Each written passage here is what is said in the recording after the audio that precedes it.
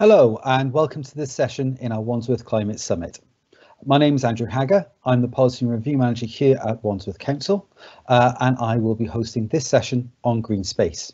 The summit started early this week and we've already covered how to develop a sustainability strategy, uh, young people's involvement in climate change, waste and recycling and greening your home. Earlier this morning, we held a session on transport and then one on the circular economy. So if you if you have attended one or both, then thank you for your interest and also your perseverance. Uh, in this session, voluntary organisations will give us tips on what we can do in our gardens to support biodiversity and how to enjoy our green spaces. And afterwards, we will be hosting a very quick online quiz. Um, we're not having a Q&A session uh, section in this session, but if you do have any questions questions or comments, please do make them and we will try to respond where we can during the event. So uh, the running order for today, we've got Councillor Sutters, who's the Cabinet Member for Community Services and Open Spaces, who will give an introduction on green spaces in our borough. And then we have Colin Cooper, who's the Chief Executive of Habitats and Heritage, who's going to outline biodiversity and its importance and the well-being benefits of focusing on this topic. Then we have Emma Broadbent, uh, London Rivers Officer from Southeast Rivers Trust, um, who will be focusing on the benefit of blue spaces and the role of rivers in helping us to tackle climate change.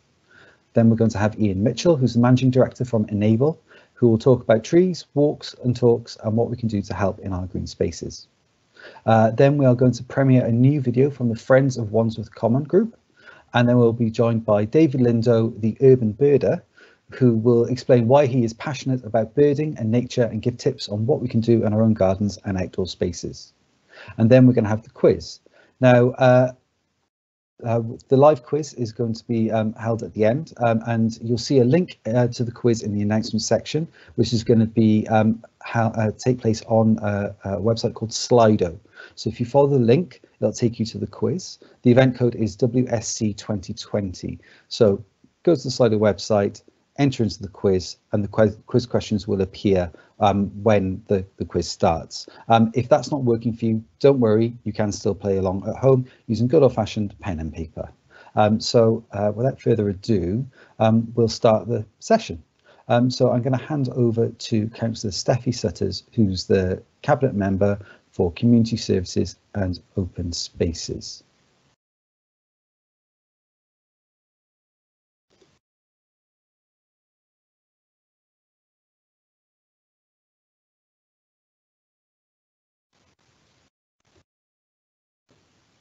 Councillor, I think you need to take yourself off mute. Is that better? Yes, that's working I'm now. Thank so you. sorry. So, as I was saying, uh, yes, I am Steffi Sutters. I'm the Cabinet Member for Community Services and Open Spaces. Andrew has just run through the excellent group of speakers we have with us today, and I've got to say I'm really looking forward to everything that they're going to share with us. The interesting thing about this session is it's not a straight line. There are so many elements that we need to talk about. We're not going to be able to get through them all this morning, but we can at least get a flavour of what's being done. Next slide, please. Next slide.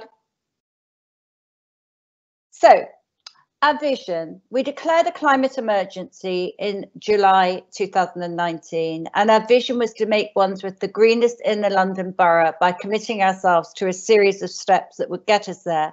Some are listed above, and many are still in train because this is an evolving programme. And I cannot possibly do justice to all the hard work of our contractors, friends groups and volunteers in the short time I have today who are working towards this ambitious goal. Wandsworth is blessed with over 40% open space. But when we talk about open spaces here, we're not just talking about those large green spaces. I also want to bring in all the urban space, all the small spaces that we encourage to be formed through the planning system and all those that already exist. Many of you will know that the provision of amenity space has taken on new meaning during the pandemic, and it's been absolutely wonderful to see the way that people have been enjoying our open spaces. And whilst I'm very proud that we are forming new park in Springfield and Tooting and the linear park in Nine Elms, I'm always aware that our job will never be done. We must keep making these spaces better and we must keep finding more places in which people can relax and enjoy nature. And climate changes, of course, sorry, next slide. Climate change is, of course, a major threat to the natural world. And so, of course, as you would expect, we have developed an action plan that will be our route map to protection. Some of the elements, again, as shown above, some still in development, but all long term will help us move towards our goal. Next slide, please.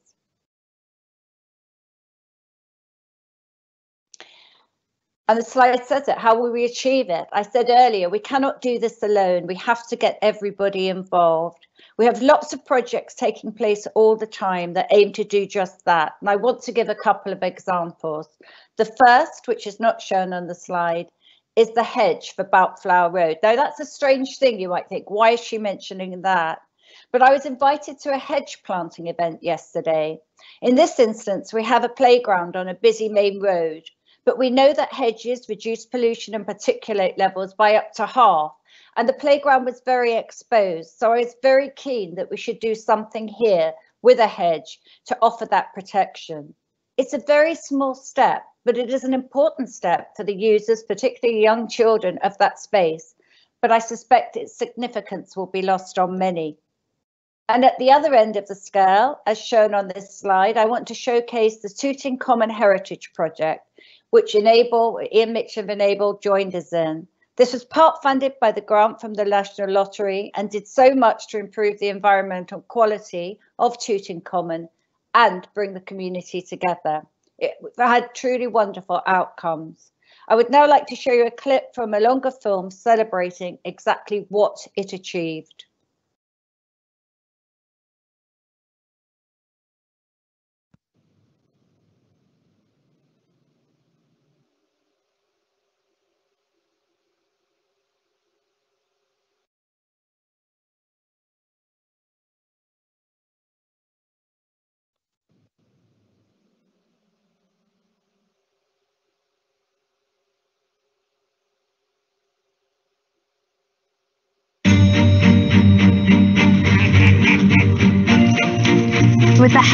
Of Wandsworth Borough Council and a £1.4 million grant from the National Lottery Heritage Fund, we all came together to improve the common.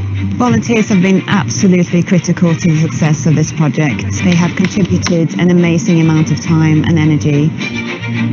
The fossil tree, the fountain, the Woodford Pavilion, the Lido, all of those things have contributed to the community and that's a really wonderful thing to have been part of and to think of that future generations will have that in their lives. The wildlife, the history, the cafe, people from all sorts of different networks and different communities that come together as a result of the project. I think the improvements have made people value the common more. I think people come here from further afield. I think they appreciate and understand the and why it's here, how it's been loved in the past, and how it's going to be loved in the future. I feel a bit more optimistic going forward because when you're on your own, as it were, you're just kind of going out in the morning and you might meet the odd person who asks you what you're doing or have you seen any interesting birds. But if you've got a group of people and you've got a society, well, then you can start to make things happen it's just great to see so many improvements going on on the common and especially for us at the Lido because this is our special place. We transformed Tooting Common for the generations to come. And most importantly, we've done it together. We've done it together. We've done it together. We've done it together. We've done it together. We did it together.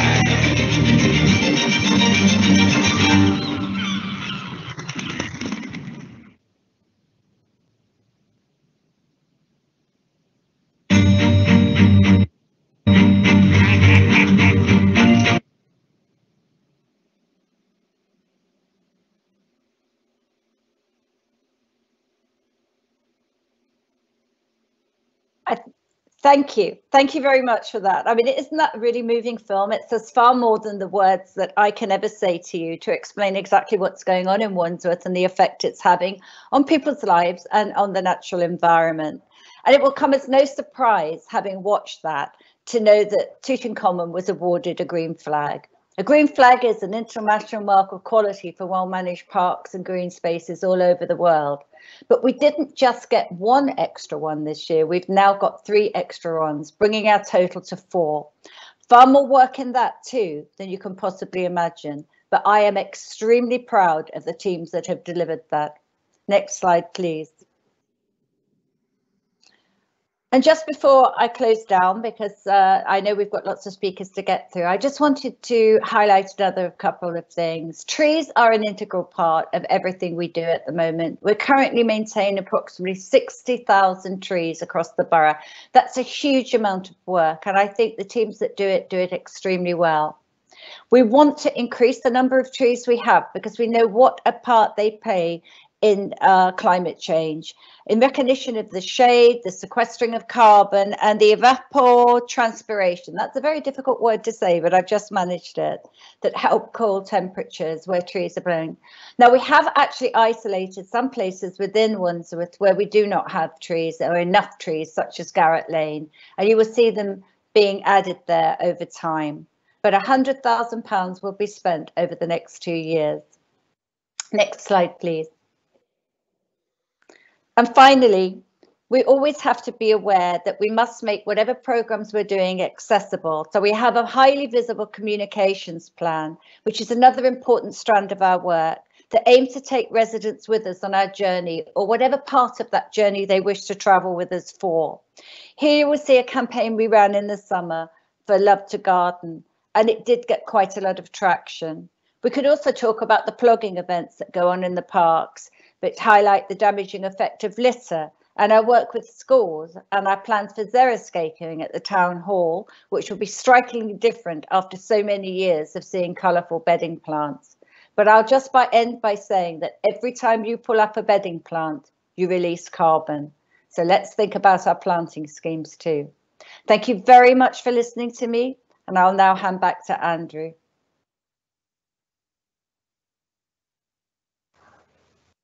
Thank you very much, Councillor Sutters. Uh, I think that's some great examples of what we're doing. Uh, also, I, I, really like um, the hedge as an example of a small piece of greenery that can have a, a really big impact. And that Tooting Common video was uh, very, very inspiring. So uh, next up, we have Colin Cooper, who's Chief Executive of Habitats and Heritage. So I will hand over to Colin now. Thank you very much, Councillor Sutters and Andrew. Hello, yes, I'm Colin Cooper. I'm Chief Executive of Habitats and Heritage. I also chair the Richmond Biodiversity Partnership and I'm a trustee of the charity Parks for London. In case you've not heard of Habitats and Heritage, we're a new charity, a result of a merger between the Environment Trust and South West London Environment Network, and it's combining the resources and the competencies of each charity. So, what is can you see that slide change? What is biodiversity? Uh, bear me one moment.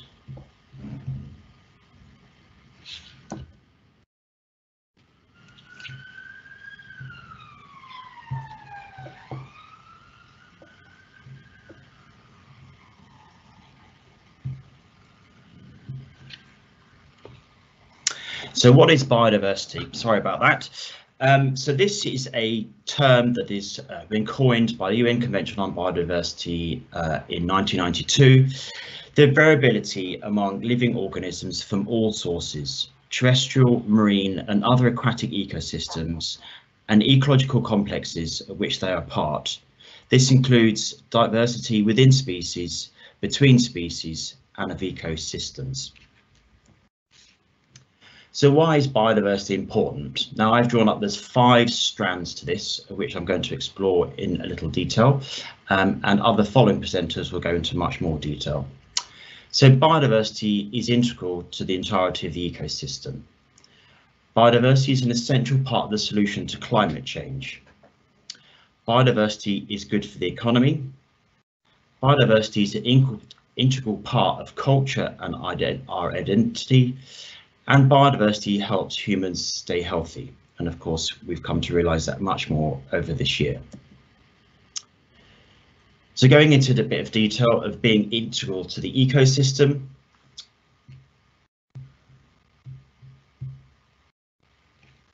To give you an analogy, an airplane wing has a certain amount of redundancy built into its design, as does much of nature. You can take out some of the rivets of the wing and it will still hold together and the plane will still fly.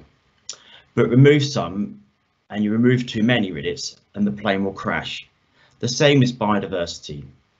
Wandsworth Borough is fortunate to have a number of biodiversity rich corridors, the Thames, the Wandle, Barn Elms, Beverley Brook, to name but a few. And some of the other speakers will detail this after my presentation. Biodiversity is an essential part to the climate change solution. Hang on. Um,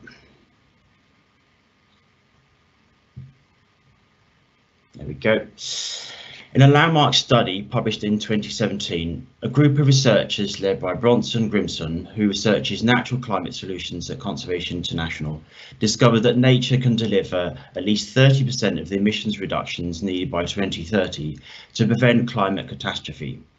Protecting biodiversity plays a crucial part in achieving these emissions reductions. The importance of soil and planting regimes in sequestering carbon is increasingly being realised and it's thought that soil organic carbon harbours three times more sequestration than in uh, the Earth's atmosphere. Plants and trees taking carbon from the atmosphere through photosynthesis, and this is then locked into the soil through the plants and trees' roots. This carbon can be released through harvesting, tilling or ploughing, and erosion. You'll hear from Ian Mitchell from Enable about their pioneering work in this area shortly. We also know that reforestation, rewilding and planting can play an important part in reducing water runoff and flood management. And Emma Broadbent from Southeast Rivers Trust will provide more detail about this. So biodiversity is good for the economy. At least 40% of the world's economy and 80% of the needs of the poor are derived from biological resources. Altogether, the food, commercial forestry and ecotourism industries could lose $338 billion per year if the loss of biodiversity continues its current pace. Around 75% of global food production of global food crops rely on animals and insects, such as bees to pollinate them. But many of these pollinators populations are in decline, which could put more than $235 billion of agricultural products at risk. Meanwhile, the Economics of Ecosystems and Biodiversity Initiative estimates that global sustainable business opportunities for investing in natural resources could be worth between two and six trillion dollars by 2050. Putting some context to this around London and Wandsworth, and using a study by the Vivid Economics commissioned by the Mayor of London, the Heritage Lottery Fund and the National Trust determines that the monetary value of public green spaces in relation to the people's physical and mental health, recreation and amenity. For every one pound spent on public green spaces it equates to 27 pounds in value for the public. Providing expenditure in green spaces provides exceptional value for money for Londoners. Biodiversity is an integral part of culture and identity.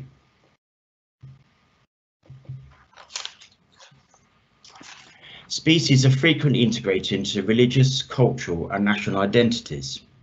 All major religions include an element of nature and 231 species are formally used as national symbols in 142 countries. Unfortunately, more than one third of those species are threatened but the bald eagle and the American bison are examples of conservation success because of their role as national symbols. Ecosystems such as parks and other protected areas also provide recreation and knowledge of resources for visitors, and biodiversity is a frequent source of inspiration for artists and designers. You might not know, but the Wandsworth coat of arms, adopted in 1965, features a dove with a sprig of lavender in its mouth to represent Lavender Hill.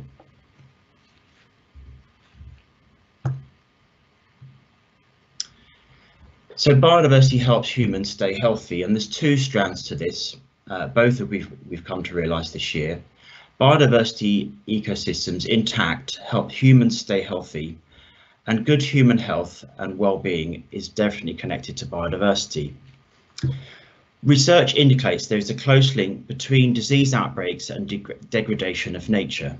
70% of emerging viral diseases have spread from animals to humans, As the global wildlife trade continues and development of projects expanded deeper into tropical rainforest, humans are increasingly exposed to wild animals and the diseases that they may carry. We also know from our own uh, uh, uh, experiences in the first lockdown that nature is good for our well-being and combating social isolation. There's also a wealth of evidence to back up this study. In 1996, the study Environmental Psychology, uh, also in Richard Louv's book, published in 20, uh, 2005, The Last Child in the Woods, which coined the term nature deficit disorder, and a study in 20, 2019 by multiple authors concluded that expending at least 120 minutes a week in nature is associated with good health and well-being. Green spaces are vital to our mental health and can mitigate some of the difficult social isolation, um, and this has been evidenced by research by Professor Meyer Lindenberg of the Central Institute of Mental Health in Germany. Prior to the COVID-19 pandemic, he published two studies revealing how access to green spaces improves well-being for people who live in urban communities. City dwellers, despite their living in close proximity to low social groups, often show higher risk of mental illness, and the burden is especially heavy on people living in poverty.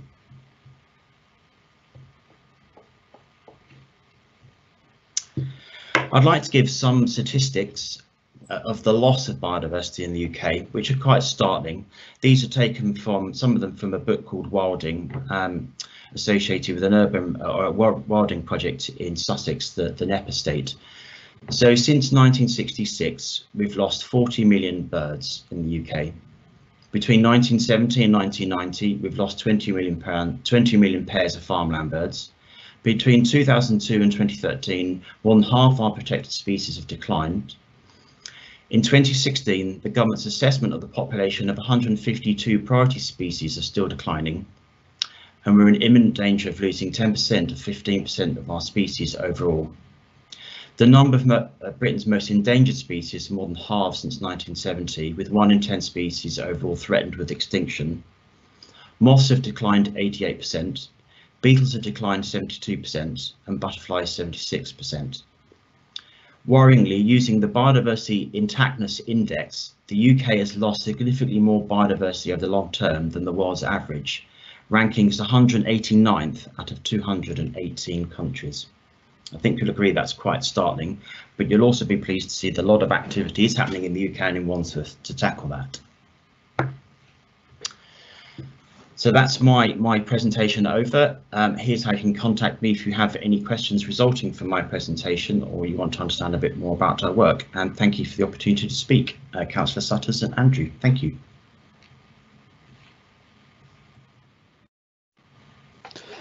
Thank you very much, Colin. Uh, that's great uh, to, to hear about um, the importance of biodiversity. Some very stark figures there on biodiversity loss, but also showing how nature has a big part in preventing climate change, as well as the importance um, of stopping climate change in order to protect biodiversity. So next up we have Emma Broadbent, who's uh, from the Southeast Rivers Trust and is going to talk to us about the role of rivers and blue spaces. So Emma, over to you.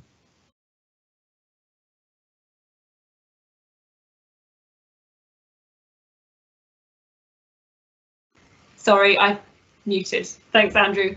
Um, yes, so I'm Emma and uh, I work as London Rivers Officer for the South East Rivers Trust.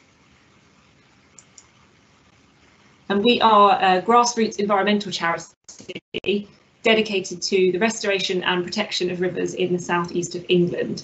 Um, we're part of the National Rivers Trust movement with many members working across the UK and Ireland to restore and protect river and wetland habitats. Um, so some of you may have heard of us as the Wandle Trust, which is how we started. Um, and since then, we've expanded our area of work and have become the South East Rivers Trust, um, taking on new river catchments across the South East. And we now cover 12 river catchments from Basingstoke to Dover. So what do we do? Um, there's four key pillars to our work. The first of those is engagement. So um, that's things like volunteering events, talks and walks, um, and they all have the aim of empowering local communities to become involved in their local river. We also have um, an education, education arm. So we run a project called Project Kingfisher, which delivers school sessions for primary age children. Um, and more recently, we've been producing online resources, which have been particularly important for people during lockdown.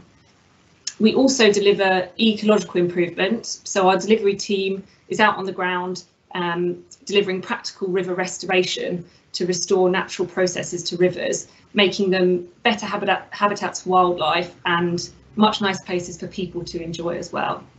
Uh, and finally, we, we work in partnership. So um, we work with stakeholders like local councils, water companies and the Environment Agency um, to look at the issues that face rivers and how we might work together to make improvements. So this map shows the two rivers in Wandsworth and their catchments. Um, so the black, the black area on the map is the catchment, um, and that's the area of the land that drains into the river. So you can see from the map that um, the catchment, the area that drains into that river is actually much larger than just the immediate area around the river. So for the Wandle, it's 200 square kilometres um, and slightly smaller for the Beverley Brook of 64 square kilometres. Um, so in the 1960s, the Wandle was actually declared biologically dead, um, but it's made remarkable recovery since then with help of local people and local organisations. The red area at the top shows you Wandsworth. So you can see that um, the Wandle is running right through the centre and then out to the west, you've got little parts of the Beverley Brook that fall within Wandsworth Borough. So both of these rivers are tributaries of the Thames and they're both characterised as urban rivers. So this presents unique challenges and threats as they're in close proximity to areas with high population density. So the Wandle is particularly special as it's a chalk stream and there are only 200 of these in the world um, and 90% of them are found in southeast of England. Um, and chalk streams are, as their name suggests, streams that flow through chalk. Um, they're typically wide and shallow um, and due to the filtering effect of the chalk, they um, often have exceptionally clear waters. Uh, and in a natural chalk stream, the water is often um, very stable temperature and flow level. There are several species associated with chalk streams um, and linked to the habitat it provides. So you might find fish like brown trout, salmon, bullhead, eels, plants like water crowfoot, um, invertebrates like mayflies, and other animals like water voles, otters, kingfishers, white-clawed crayfish. So they're really special habitats.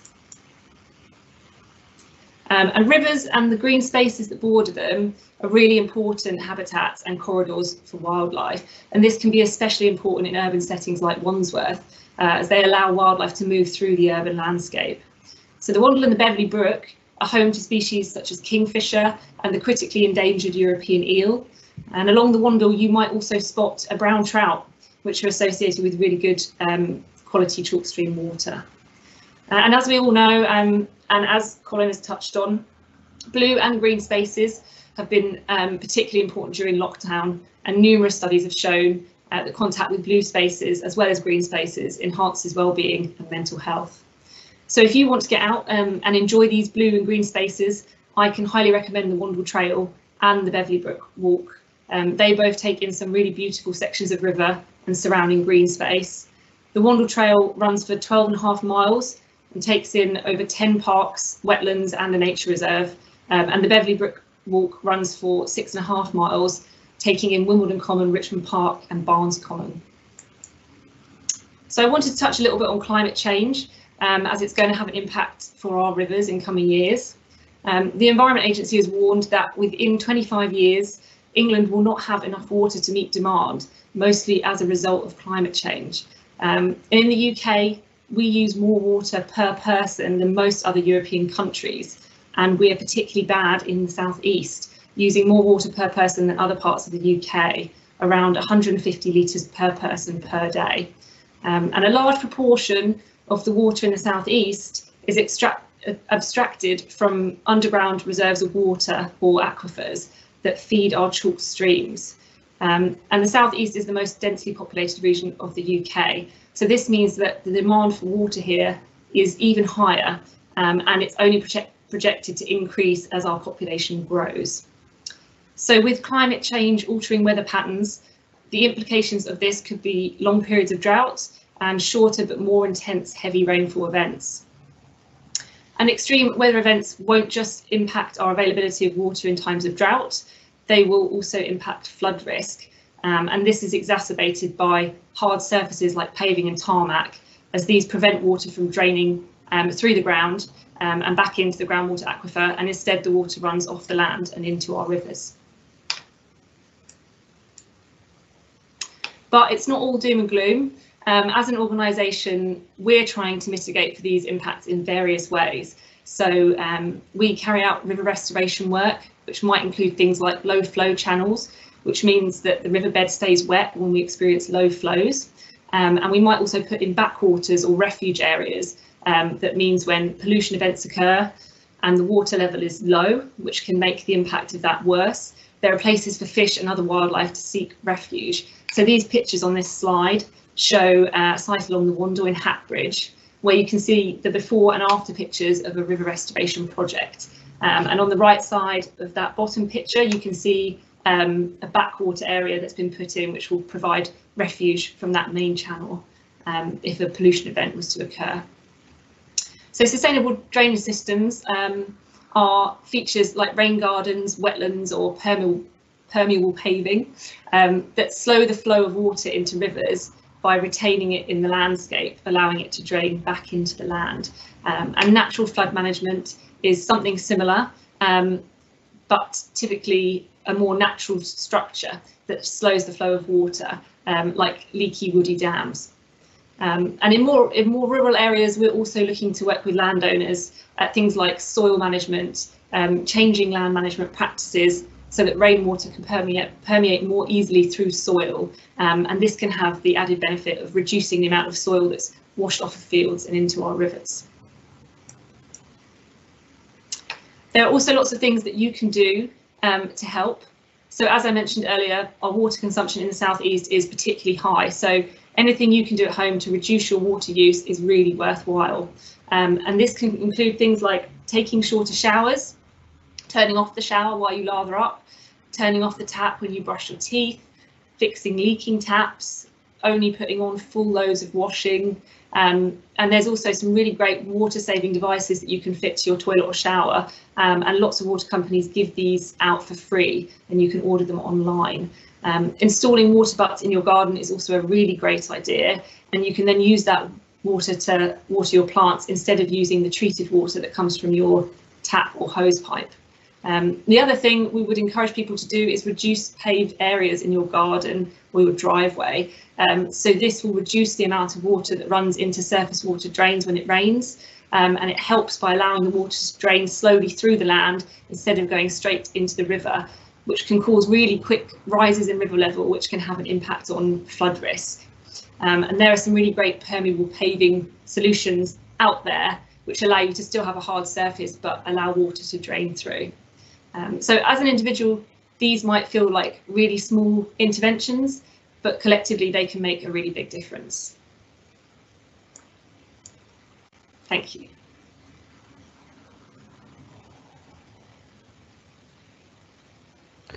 Thank you very much, Emma. Um, that's fantastic. Um, and, and, congratulations on the work with, with the Wandle. I think bringing back from being biologically dead is, is an, fast, fantastic achievement.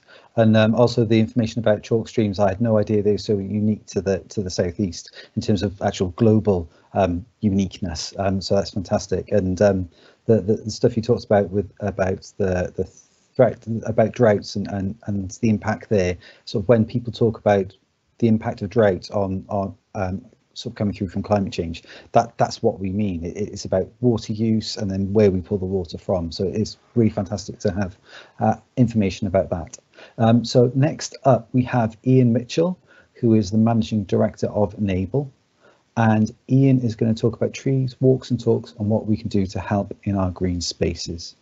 So Ian, uh, over to you.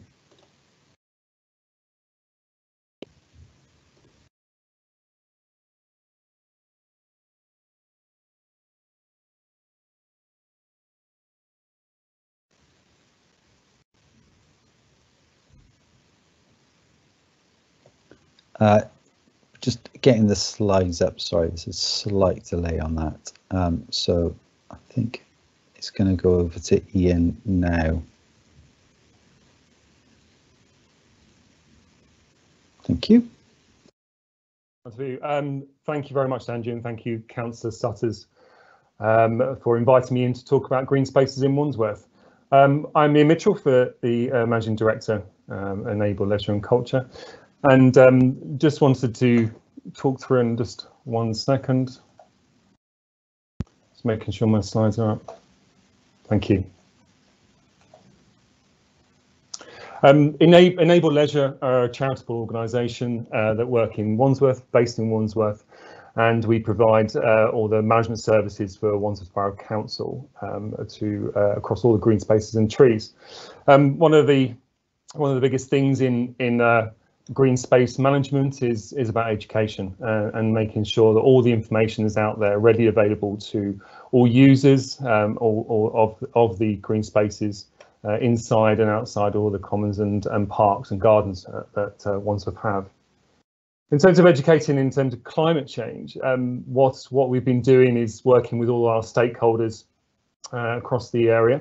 Uh, there's not just users, there's a, a, lot of people coming in and planting in terms of contractors, uh, and other other users that will come in and, and plant across the green spaces uh, through Enable and Wandsworth Council. And it's about advising what is suitable in these areas. We've heard a, a, um, a lot of great stuff from Colin. Remember today about it's so important to plant the right things in green spaces um, to to add into biodiversity and support uh, the climate change uh, we're going through. In addition to that, um, sharing the knowledge uh, also for our users uh, and educating and providing education for all of our users uh, that come into uh, green spaces um, and hopefully take some, some, some of that information home as well. So we deliver um, with, with our friends of groups and deliver uh, swiftly from our horticulture and arboriculture and biodiversity team walks and talks uh, all around uh, Wandsworth into the green spaces. Um, and these, these talks provide information of physical look of the green space and what's going on in the green space um, and help educate um, all users to, to understand what they can do uh, within the green space as well and enjoy it. Some of the some of the information we provide, and, and here um, you can see the picture is of a Tutankhamun information board. There's a, quite a few of these currently around Wandsworth in the green space and more going up in, in 2021. Um, these, these information boards provides a little bit of information about what's happening in that green space, uh, the type of habitats in there, and and the wildlife that actually lives within the habitats. Um, this is this is a way of ed educating, providing useful information, and and and a part of enjoyment of the green space and supporting that when you visit that around uh, Wandsworth Borough. In addition, we provide some infographics that, that are sent to homes, are readily available online, of what you can do in in your own green space or communal garden or or when you're um, anywhere in Wandsworth. This is about trees and shrub planting to make sure that it's all sustainable, suitable for habitats uh, and increasing uh, biodiversity in and outside of public green spaces. Another education is, is the contractors that we work with um, that support green spaces across the borough. Um, some of the grasslands uh, will be changing and are changing uh, through 2021 into 22 and, and further afield, supporting the uh, Wandsworth environmental and sustainability strategy is seeing where grassland was previously cut uh, regularly, uh, is leaving some of that grass to, to grow slightly longer to improve the habitat and to increase the wildlife and biodiversity of those areas. So those will be changing going across the parks and open spaces on public land. Trees are ever important. I've seen a lot of comments uh, in the chats today about, about trees, and they are very important, as we all know, to the climate change that we're going through. The trees, there's approximately 60,000 uh, trees on public land. Um, there's even more trees on, on private land. Um, looking after the trees is, is vitally important and supporting uh, new tree growth and development um, and volunteer watering programs uh, that we're working with with, with some areas uh, within Wandsworth as well. But vitally employment of importance. Colin um, talked about, and I think Councillor Sutters talked about um, soil management. Now, so, soil management from, from our point of view in a, in a public land is is how we store the carbon and, and keep the carbon that is within the soil um, stored um, and safe. Now, a lot of our uh, public spaces in, in Wandsworth and Wandsworth Council's public spaces are um, old Victorian gardens with uh, bedding plants that have been changed over every three times a year. Um, and every time that a bedding plant comes out, the soil is disturbed and the carbon that is being kept within that from the plants, as Colin mentioned, um, is put back in the atmosphere. So what we're doing with our contractors is is working through some programs of of uh, carbon storage where we don't uh, turf um, and and take the carbon out of the soil and, and put sustainable planting in there to make sure the carbon is uh, kept within the soil in in some areas. Next slide. So what what are we doing? What is Enable doing working with Wandsworth Council on, on green actions? We'll be looking into green corridors and Emma mentioned about some blue corridors and how, how water has a, an effect for uh, habitats uh, walking through and uh, swimming through green blue corridors. But in green corridors, this is about how habitats and wildlife travel across um, the borough and from what we're creating and what we're working with the council on is creating green corridors across the borough.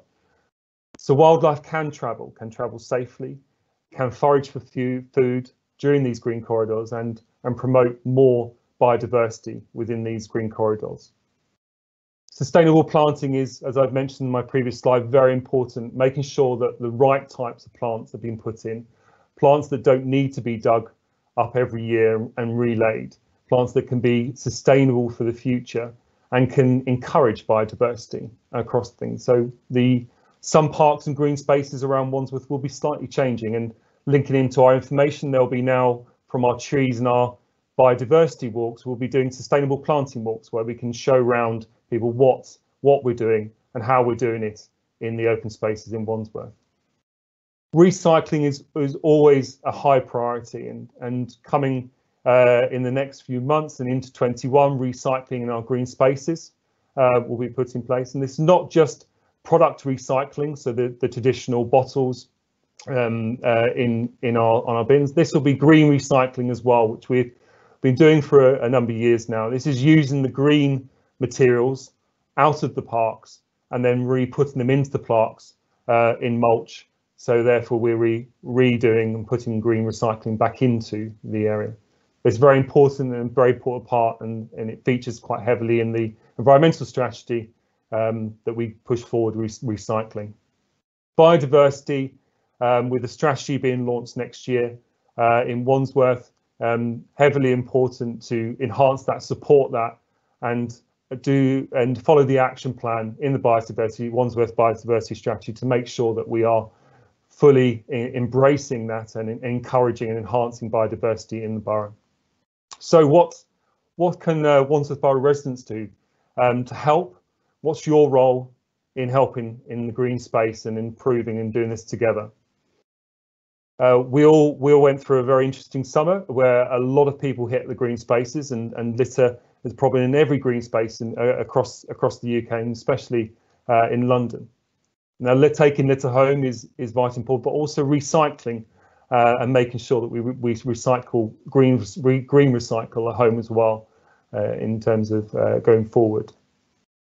Going home and looking and looking at information about sustainable planting, we'll be launching some planting guides into 2021, which will help and assist where you can sustainably plant at home. Have a, a look at when your garden and and see how you can green up your garden. And I think there was a, a previous seminar, seminar on this earlier this this week, where it's every space in your garden can be greened. And if you have a garden, if you don't have a garden, then communal spaces or even a, a plot of grass outside of your flats without gardens. Encouraging our wildlife um, linked to biodiversity and recording the wildlife, anything you see from your window, within a garden, in a green space. And there's ways on the council's website to and Enable's website to how you can record the more we have recording, the more we can encourage that, the more we can learn from the wildlife that is happening around the borough. Greening up your garden design is looking at your garden in a different way. seeing where you've got a front garden and rather than rather than paving and putting a, a driveway in is is seeing what else can be done uh, to keep that and encourage uh, green. I think Emma mentioned about uh, uh that for water bases, but also for uh, the green corridor basis that I talked about talked about earlier, and seeing how you can green up your garden and let let your garden go a little bit in some areas to encourage wildlife and biodiversity. Next slide. Getting involved and working together. This is one of the most important things and how we can do this together. There are many stakeholder groups and they use our open spaces and green spaces across Wandsworth. Um, that's not necessarily a, a formed group and structured group. This, this groups can be a couple of uh, people having a walk on a regular basis, uh, a nursery using the groups, schools using the groups. Lots of people use uh, our green spaces in, and more so in, in this time, uh, which is amazing to see. Engage with the, engage with these groups, socialize these groups. Vitally important that we get out and see who's using and, and work with our stakeholder groups. We have a number of uh, amazing friends of groups around Wandsworth. Uh, a list of these are on uh, uh the councils and enables uh, website where you can get involved with a more structured environment uh, with friends who do a fantastic job across all of our commons, parks and gardens. and you can ideally get involved. If you do not have a friends group near you and you have a green space, then consider developing a friends group and we're more than happy to help out in the formation of that and, and what's needed.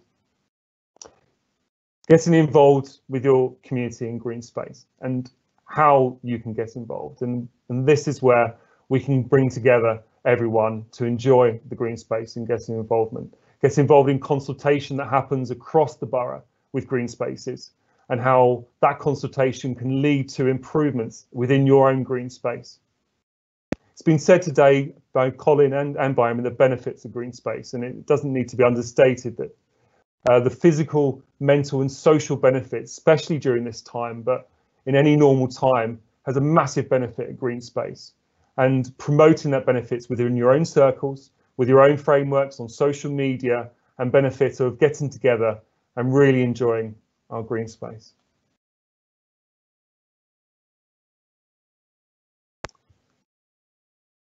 So what's what's uh, what happens around Wandsworth? So in Wandsworth, we have a, a number of animals being uh, and habitats that, that are formed.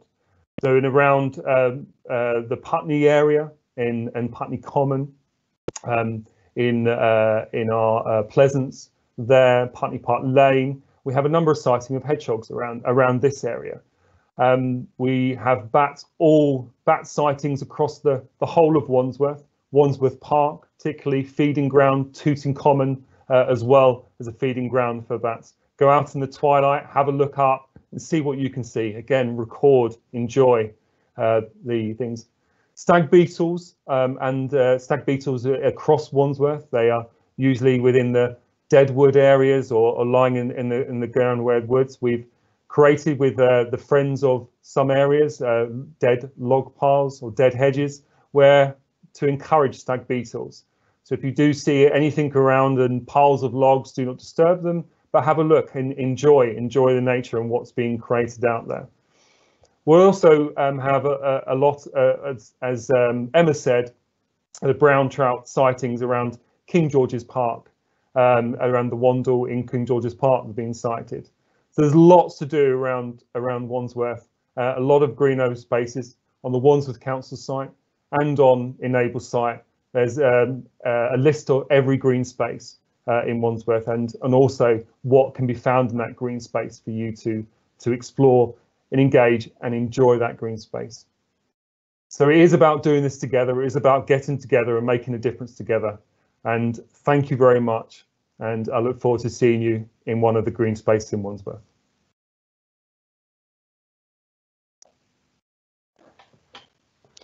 Fantastic. Thank you very much, Ian. Um, I, I, think it's great uh, that you highlighted the importance of carbon storage for soil and sustainable planting uh, and also the reuse of materials. That links very nicely to um, the circular economy session that we had this morning about the reuse of, of materials.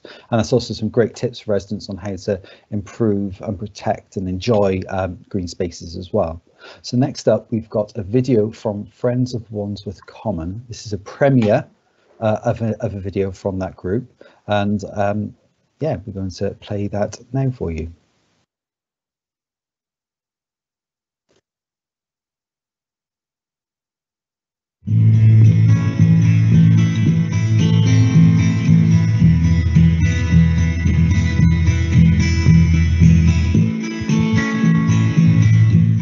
Welcome to Wandsworth Common. I'm Richard Fox. I'm co-chair of the Friends of Wandsworth Common. This is my wife Julia, who's the other co-chair, and we're very pleased to be joined this afternoon by Annabel Osborne, the Parks Biodiversity Officer for Enable Leisure and Culture, who covers the whole of um, Wandsworth Green Spaces. We are situated here in front of this black poplar, which blew over in one of the storms at the end of last year.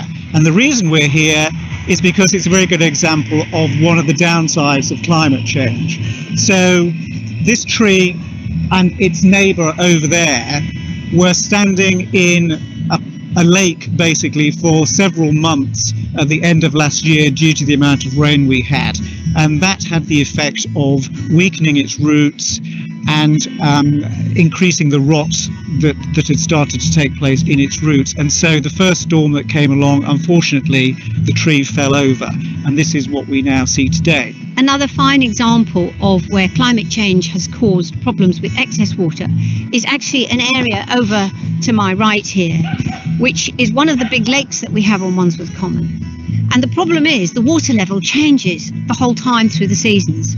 So in the winter, we get flooding, and in the summer, the water levels are too low, and money has to be spent pumping water in artificially. We're going to hand over to Annabel now to talk about how Enable are trying to help us and sort out some of these problems and build us a more resilient future. We aim to make our habitats more resilient to climate change. So the principles that we follow to do that are to make them firstly bigger, make all the habitats as large as we can with the space that we're given, improve their quality. So that doesn't just mean planting individual trees, it means thinking about the understory layer, a shrub layer, and then the tree layer.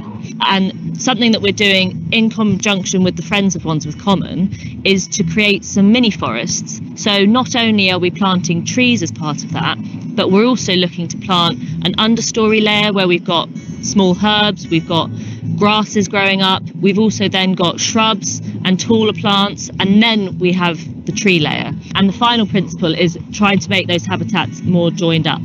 So we are doing that in various ways across the common. Um, it's guided in main by the management and maintenance plan um, and improving and maintaining a diverse mosaic of different habitats really is the key to making the common and all of our open spaces more resilient to climate change. This year, we've trialled some new long grass areas where the grass only gets cut once a year, um, and the purpose of that is to follow that principle of connecting habitats. So we've trialled two of those. Um, something Enable did a few years ago to try and combat the issues at the lake with flooding and with drought is creating an amphibian pond. So we dug out a large area to the north of the pond, which in winter absorbs some of the overfill water, um, and then throughout the season, as it gets warmer, it then slowly dries out, um, and that's known as an ephemeral pond, and it's fantastic habitat for amphibians. We've come to the edge of the common, and you may be able to hear the road in the background. But Annabel, tell us what Enable are doing to help screen us from the pollution that comes from the roads. So up in the north of the common, we've got a small area with a playground, and around that edge of that playground, we've got it's totally encompassed by roads. So we're going to be planting some native hedging, and the purpose of that is not only going to screen that area from pollution particles from the vehicles, but again, it will act as another form of habitat connectivity. I probably don't need to explain to anyone in the audience listening today the absolute vital importance of green spaces. But let's just recap why we need them. So we need them for our own physical and mental health. But we need them for the health of every species that lives here and for the health of our entire planet. So all green spaces uh, and in particularly the effect of trees, do a massive amount to mitigate the problems that we're facing currently. Green spaces absorb water, so they are flood mitigation. Green spaces are climate coolers and warmers. Green spaces are cooler than urban areas in the summer and they're warmer in the winter. Trees actually soften wind velocity, and wind has a lower effect in trees than it does outside. And that is the complete reversal of high buildings, which actually increase wind velocity because the wind has to travel up and over the building and it accelerates. And the other absolutely vital function of our green spaces and our trees in particular is the sequestration of carbon dioxide. So the storing of carbon dioxide from the atmosphere, which is life saving for us. And every mature tree gives out enough oxygen to keep two adult humans alive. Can't say better than that. We really, really need our green spaces.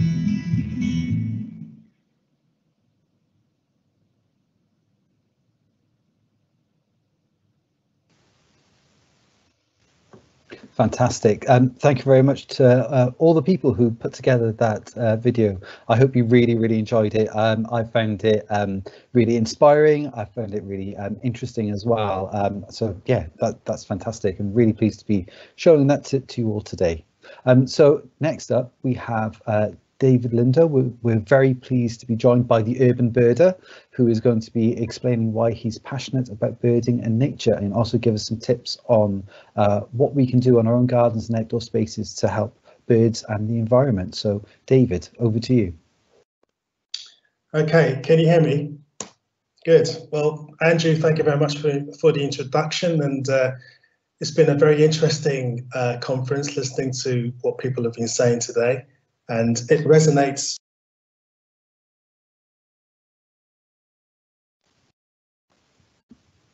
Oh, David, you've gone on to mute.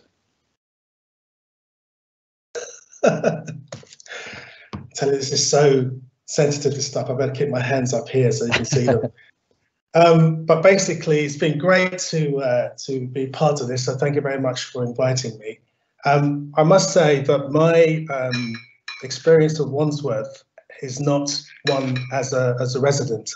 And by the way, please excuse my lockdown uh, headphones. They happened to break yesterday, and that was too late to, to do anything about it.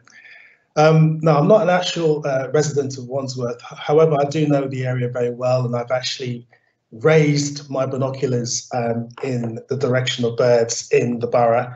For example, Battersea Park, I've been there during the autumn um, uh, it's a good spot actually because lots of migrating birds passing through from northern uh, Europe and Scandinavia, passing through London and Battersea and Wandsworth, uh, heading to their destinations in, in Africa, which I find amazing. I, I just find the whole idea that we are visited by all these different creatures from all over the world sometimes, right here in London.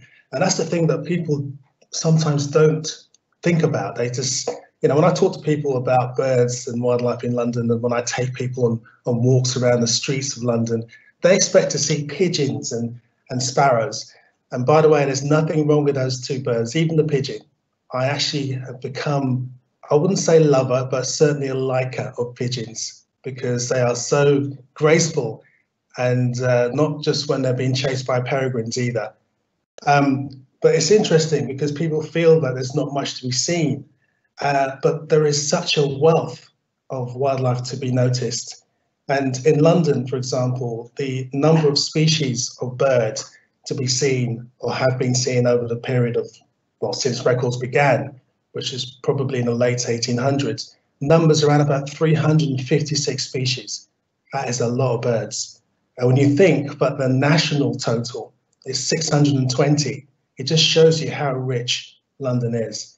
And looking at what's happening in Wandsworth and what's going to be happening in the future, you know, it is a bright future. And I think it's, you know, if I lived in Wandsworth, and I'm sure the people that do live in Wandsworth hopefully will have the pride um, to sort of be out there and know, knowing that they're actually contributing to the conservation of nature as well as observing it, which is the, the, the fun part, I suppose.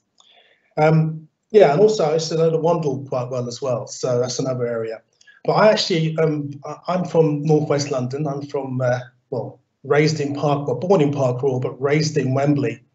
And my interest in nature was innate. I was born with this this interest which came from nowhere. And I remember, um, you know, as a kid, being surrounded by people, including my family, that had no interest whatsoever. Um, so I taught myself, and it started off with looking out my back window as a tender five-year-old, seeing these. Well, actually, let me go wind back a bit before then. It started off with actual with actually insects and invertebrates because when I was in primary school, I noticed in uh, school wood that there was lots of of activity of that nature, and I actually brought back seeds and planted them in my garden because I thought I want to have a bit of my school in my garden, and I formed an area which was quite wild, inadvertently attracting in lots of invertebrates and butterflies. And when I noticed them, I suddenly realized that there were birds there as well. In fact, my switch from insects to birds was when I found some cuckoo spits, and I'm sure you you know what cuckoo spit is, but it's basically the larvae stage of frog hoppers, and they surround themselves with this foam. And I remember, you know, learning about cuckoo spit, coming back to my garden and seeing cuckoo spit, and thinking, "Oh my God, a cuckoo's been in my garden and it's been, and it's been spitting." Um, but then I realized obviously it was an insect, but then that brought me onto the birds. And as a kid, you know, I saw sparrows and I saw starlings and blackbirds, but I didn't know what they were. I had no one to tell me. So um, I, I, named them as I saw them. So sparrows were baby birds, starlings, mummy birds, blackbirds, daddy birds, etc., etc. Um, but as a kid, I kind of taught myself about the value of biodiversity because I realized uh, unconsciously that if you have a garden and if you kind of try and encourage wildlife to come to your garden, then it will. And it doesn't matter how bleak you may think your garden is. I mean, I remember being in my mate's garden in Notting Hill, and I lived in his house actually for a few years, and his garden was effectively a concrete patio with not a lick of green anywhere. And plus, it was walled in by the houses that were in, you know, behind his back garden. So it's completely walled in. But yet, I managed during that period of time that I was there, which is a few years, I managed to see about 55 different species of bird in or over his garden, the last of which was some swans flying over. Because even though mute swans are apparently supposed to be quiet, when they fly, they make a noise with their wings. So I heard that. I knew that there was a mute swan flying over. But the classic thing I saw, I remember one cup final day coming down to his patio, looking out the window, and it was May. And I remember looking out of the window, and we had these little sort of plastic, um, or yeah, plastic goals, because we, as two men, two boys, actually, we like playing football in the back garden. And standing on top of one of the goalposts was a species called a wheatear, which, for those who don't know, a wheatear is a small uh, bird that migrates from here and even as far as uh, Greenland all the way to Africa and they nest in really wild remote places and to see one on a concrete in a concrete garden patio garden on top of a goalpost was like but it just shows you that anything can turn up anywhere at any time and i think it kind of gives us hope that no matter what you do no matter how small you think it might be it can really be a massive help to nature and biodiversity. So what I'm trying to say is, I mean, given that we've had many really interesting talks today about the greater world within Richmond and Wandsworth in terms of the green areas, and it's also very important that we visit these green areas, and I'll get onto that um, shortly. But for me, conservation and understanding nature and helping nature actually starts from your doorstep You know, if you even if you haven't got a garden, you can still contribute. You can still have window boxes on your window ledge that you cultivate plants in, but within that that little pot, there is a whole ecosystem going on. And that is actually part of the whole picture. That tiny thing is part of the whole picture. And to echo some of the, the words that um, some of the colleagues uh, today have spoken about, like Ian, for example, and Emma and Colin, um, talking about actually doing your small part. That's so important. If you have a garden, try and keep an area, just a little area, wild. You know, weeds are great. They're fantastic because you will eventually be seeing, you know, once you're sitting outside your garden during the summer, you'll be seeing things that you never expected. You'll be seeing butterflies flitting out of your little tiny patch of green that you've got. You'll see if you if you rummage around, you find invertebrates that you never expected. If you wait and put some food out for birds, you'll be finding things turning up in your garden that you never expected. So it's all about believing that you will be able to actually see these things, and you will because they are not that difficult to see, particularly birds. It's about getting, as far as I'm concerned, it's about getting onto nature's wavelength, and that can be achieved quite easily, I think, by being able to give yourself 10 minutes. Now, by that, let me explain a bit more. Basically, I talk all day long about urban birding. I love the idea of watching birds in urban areas because, for two reasons. Firstly, I love the excitement of discovering something that you just didn't think would actually be there. I'll give an example. I was in the garden in Guildford uh, before lockdown, and I remember standing in the garden and the person that owned the, the garden was asking me what birds it had about because I had no idea. So I said, right, let's go out the garden and have a look. And we looked up and there was a buzzard straight away and we saw a red kite. And in her garden, there were blue tits and robins. And within five minutes of being in the garden, a kingfisher flew straight overhead. She wasn't anywhere near a river. And that was amazing. But those sort of things probably happen much more often than people think. So it's all about realizing that you doesn't matter where you are in the city, you can actually connect to it. The other thing is, if you haven't got a garden, then pop out to one of those wonderful green green places, uh, spaces and blue spaces in the borough. Sit down on a bench, just spend 10 minutes. Blot out all the sounds around you. Just it's almost like meditation. Just blot out all that sound around you, all the, the human hubbub, the cars honking horns, people shouting after their dogs, you know, just blot it all out. And after a period of time, you'll begin to hear nature, you begin to hear birds calling, you begin to see things flying around you, which you may not have noticed before. And if it's a really lovely sunny day, lie on your back, enjoy life for 10 minutes. Just lie on your back, look in the sky, and you'll see this amazing arena open up in front of you. It's like you just never seen it before.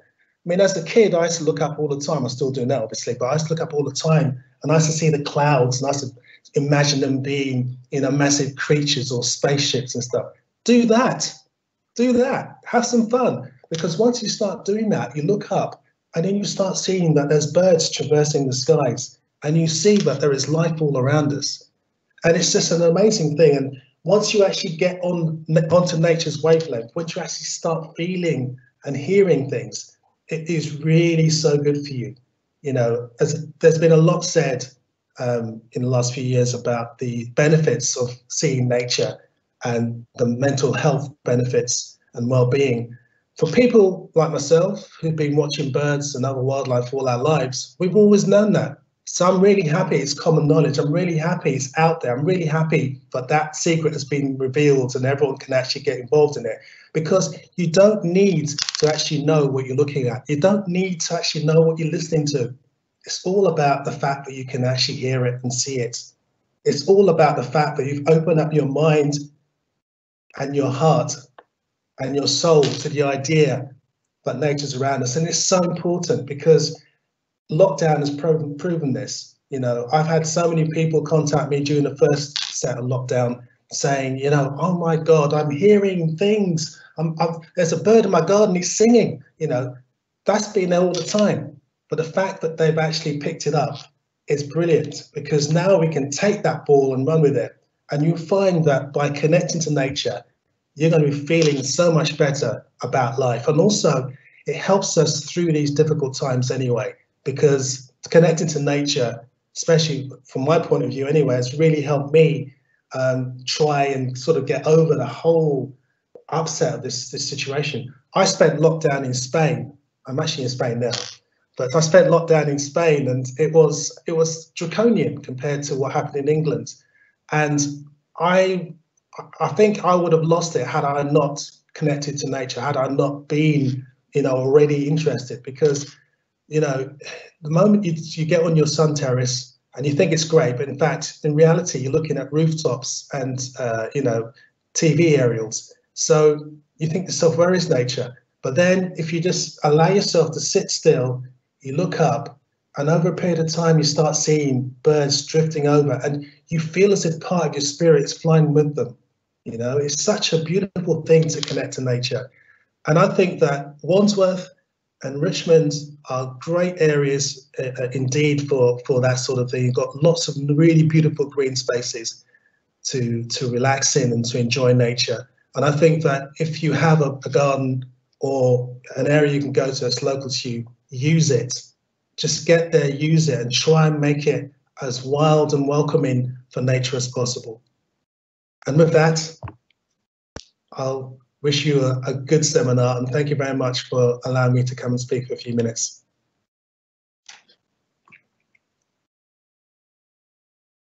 Fantastic. Thank you very much, David. Um, that's a really, really inspiring talk. And um, yeah, it's, it's showing how uh, there's wildlife everywhere in London, um, even where you least expect it. Um, and and yeah, it's, it's definitely made me think about uh, what I'm doing with my very, very small garden and, and how I should leave some bits alone for uh, for bugs and birds and, and other things to, to, to explore that. And also, I'd love you to talk about um, sitting back and, and seeing um, birds of prey, especially. I, I do love it when I do spot something like a buzzard that's ho almost hovering in the air looking for something to eat, um, and that's always very inspiring for me.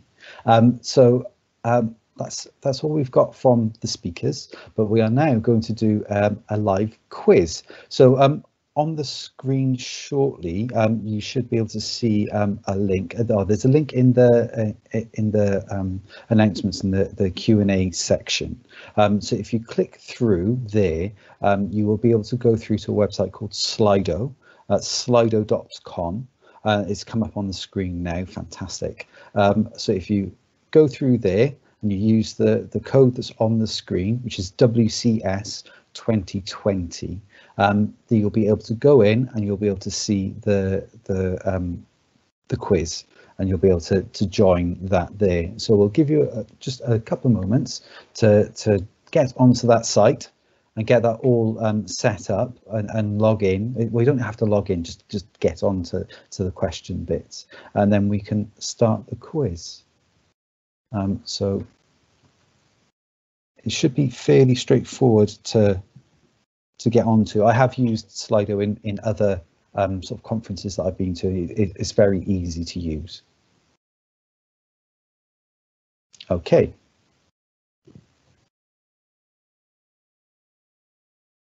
So, first question about trees and carbon dioxide. So the carbon footprint of the average Brit is around 10 tonnes of carbon dioxide per year. How much carbon dioxide will one broadleaf tree absorb during its full-time life, um, uh, full lifetime, which is approximately 100 years? So is that one kilogram, one ton, or 100 tons? So the carbon footprint of the average Brit is around 10 tons of carbon dioxide per year. How much carbon dioxide will one broadleaf tree absorb during its full lifetime of approximately 100 years? So planting trees offsets some carbon emissions, but trees also help provide wildlife habitats, increase biodiversity, reduce local air temperatures and absorb air pollution, which is all stuff that um, people have been talking about today.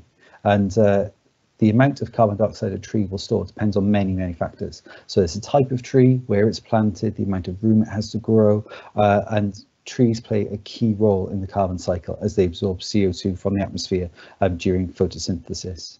And so a broadleaf tree uh, is a tree that has flat leaves and produces seeds inside of fruits. And the other type of tree is a conifer, uh, which is a tree with needle-like or scale-like leaves, and they have seeds in woody cones. So once again, trees and carbon dioxide. The carbon footprint of the average Brit is around 10 tonnes of carbon dioxide per year. How much carbon dioxide will one broadleaf tree absorb during its full lifetime of approximately 100 years? So I think we've given lots of time for you to answer. So if we can reveal the answer. So lots lots of people have gone for 100 tons. It is in fact only one ton. It's just one ton. So uh, yeah, um, the average British person needs to plant lots of trees to offset uh, your um, your carbon footprint. It's a it's a lot more than than people have thought. So yeah, it's something to bear in mind. So now we move on to flood defences. Um, so which of these are urban uh, are sustainable urban drainage systems that help protect us against surface water flooding and help prevent pollution entering our rivers. So which ones are they? So permeable paving, rain garden or green roof. So which of these are sustainable urban drainage systems that help protect us against surface water flooding and help prevent pollution entering our rivers? Is it A, permeable paving, B, rain garden, C, green roof, or D, all of the above? I forgot to add that last option in there uh, when I first read that out, so apologies about that.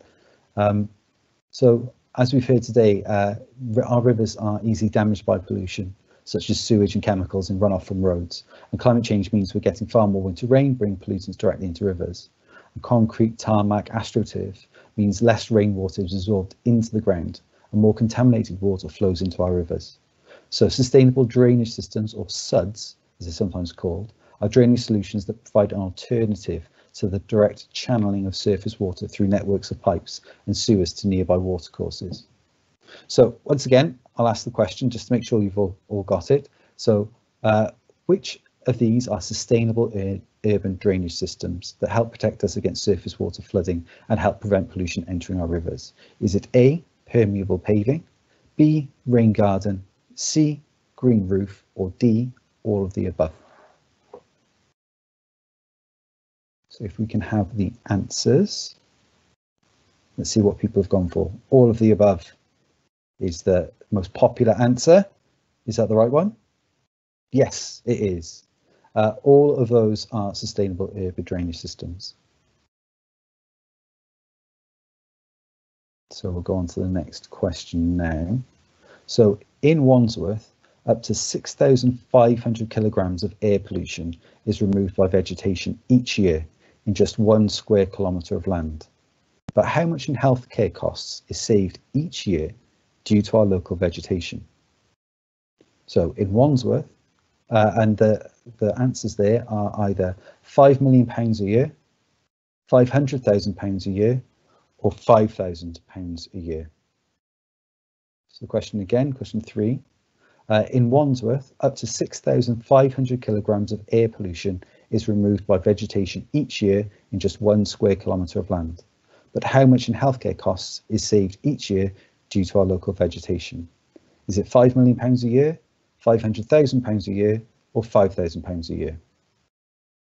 So it's important to remember that uh, woodlands, plants, grasslands and other vegetation not only remove CO2 but also air pollutants that damage health, human health. Trees in particular provide a wide range of services and account for most of the volume of air pollutants absorbed by natural vegetation in the UK. The most harmful of these are PM2.5, which is fine particulate matter with a diameter of less than 2.5 micrometers, or 3% of the diameter of a human hair, and also nitrogen dioxide, which comes from road transport, wood burning, and industry. So uh, once again, the question, in Wandsworth, up to 6,500 kilograms of air pollution is removed by vegetation each year in just one square kilometre of land. but how much in healthcare costs is saved each year due to our local vegetation? Is it £5 million a year, £500,000 a year, or £5,000 a year? I think we can go on to see what the answer is. It was quite split. What's the correct answer? £5 million a year. So this just shows how much of an impact trees can have on air pollution. Uh, in Wandsworth, the avoided healthcare costs resulting from pollution removed by trees was uh, estimated to be approximately 15 to 16 pounds per person in 2015. So on to question four. Um, are birds and climate change? So according to the British Trust for Ornithology, over a third of UK bird species are affected by climate change. But which species has been hit hardest by climate change in London? Is it the cuckoo, the house sparrow, or the ring-necked parakeet? So, according to the British Trust for Ornithology, over a third of UK bird species are affected by climate change. But which species has been hit hardest by climate change in London? Is it the cuckoo, the house sparrow, or the ring-necked parakeet? I think this question shows, um, and so what we've seen throughout the session, is that climate change not only affects humans, it also affects our flora and fauna as well. I'm just trying to think whether David's talk might have given you the answer. I don't think so. Um, yeah, give you a few more moments to, to think about what the answer is there.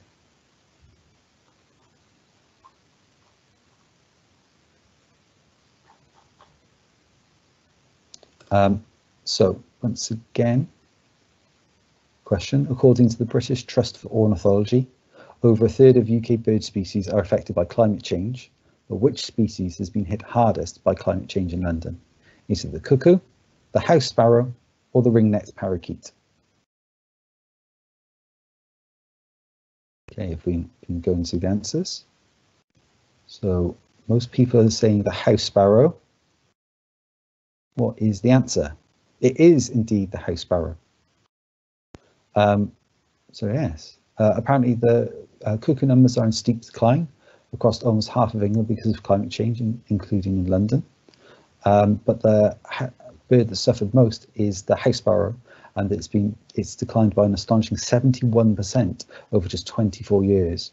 And the study suggests that avian malaria may be a cause. So the infection is transmitted by mosquitoes whose numbers are increasing because of our warmer, wetter weather caused by climate change.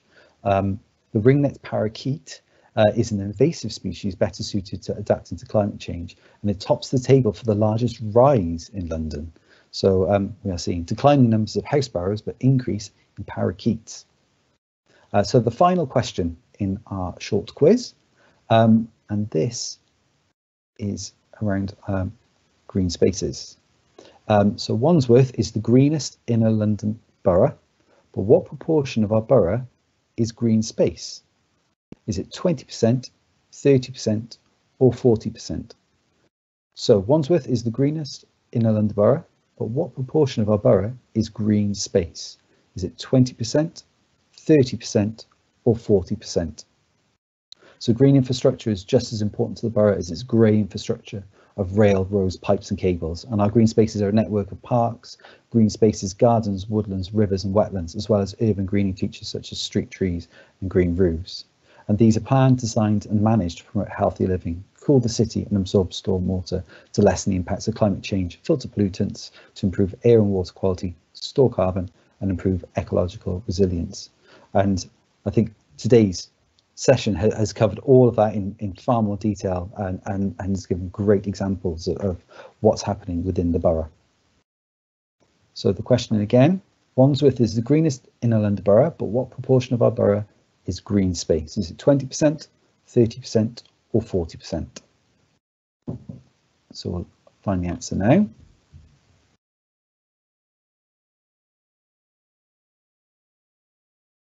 So most people have gone for 40%. Is that the correct answer? Let's see. Yes, yes it is. So 40% of our borough is green space. This includes Tooting Common, which is the largest open public green space in Wandsworth, and Battersea Park Nature Area, which is the borough's local nature reserve. It also includes our front or back gardens, parklets, rain gardens as well. And that's more than any other inner London borough. But we do all need to work together to retain it and make the most of it. And that is the end of the quiz. I hope you enjoyed that. I hope you found it informative and fun. And um, I just want to say thank you very much to all of our presenters who joined us today for their inspiring and uh, fantastic talks. And thank you to all of you as well for joining us today and giving it the time.